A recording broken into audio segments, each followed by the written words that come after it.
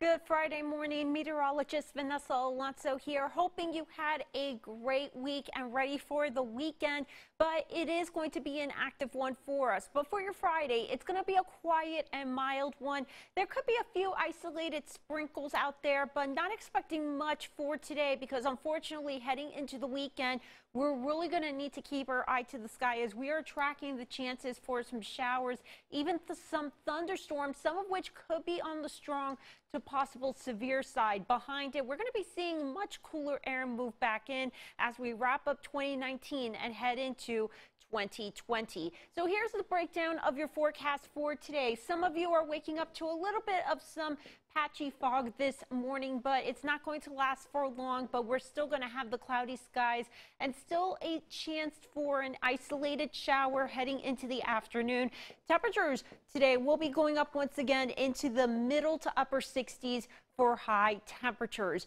So here is the breakdown of how things are going to be looking for today. High temperatures will be going up to 67 degrees, mostly cloudy skies. Again, a few sprinkles, but a mild and quiet night for us overall. One more mild and quiet night for us tonight with mostly cloudy skies. Overnight lows falling to 56 degrees. We're going to see showers and thunderstorms move in tomorrow for your Saturday, but it will be tomorrow night into Sunday. We'll need to watch that potential for some strong storms to push through with a very breezy southeast wind at 10 to 20 miles per hour. So here is the breakdown. Most of us are dealing with clouds and some showers just down to our south. Some of that moisture can creep up towards our Mississippi and Alabama counties heading into the late morning into the early afternoon.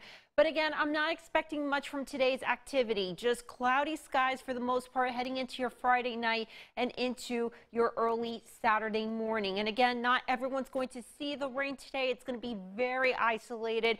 One place could see it while another place doesn't. Now heading into early Saturday morning, we'll start off with cloudy skies, but rain chances will start increasing after 12 o'clock noon tomorrow, and it will become more widespread heading into our Saturday night and into our Sunday as we're going to be watching this system coming in from the central plains. And this is going to be the system that's going to carry a very strong cold front. Ahead of it, we're going to be wrapped up with some warm, moist air. We're going to be topping out tomorrow in the upper 60s to near 70 degrees.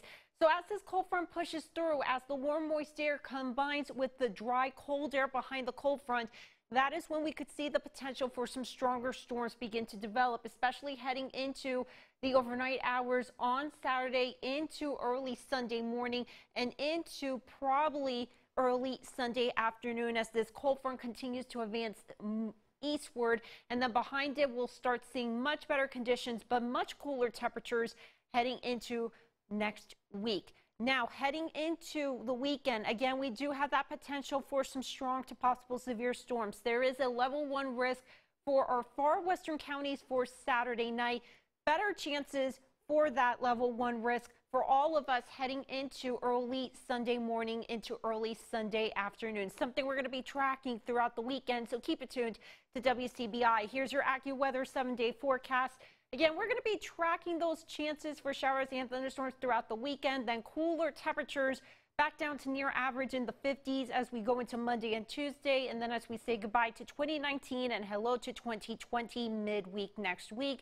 We will be seeing another chance of rain in the forecast. Of course, we'll have the latest coming up this morning on midday and on sunrise. Hope you'll join us.